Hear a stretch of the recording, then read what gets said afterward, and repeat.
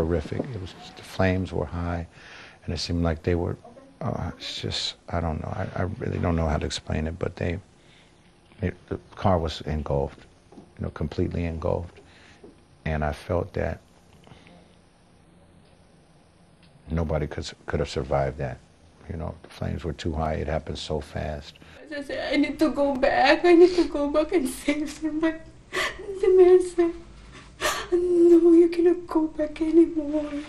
You cannot go back anymore.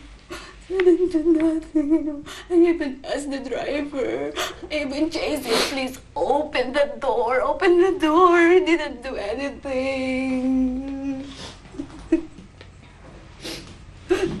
he just, I don't know.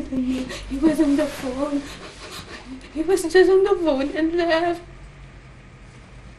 If only we could help each other, probably some of the others I already saved.